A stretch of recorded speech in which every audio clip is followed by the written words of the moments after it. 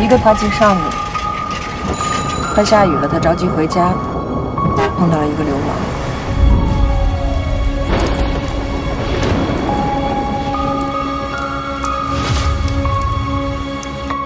十九年了，你有本事把杀我妹妹那个凶手找出来啊！你根本就不配当一个警察。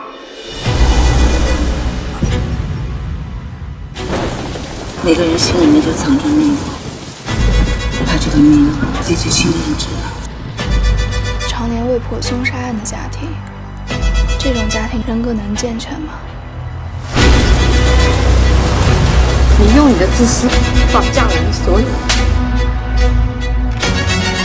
吴忠，你是不是还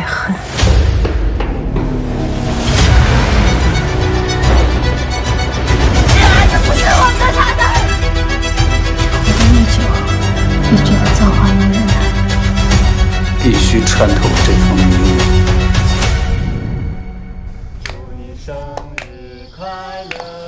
那个时候，我们是多么让人羡慕、快乐的一家人。快乐吗？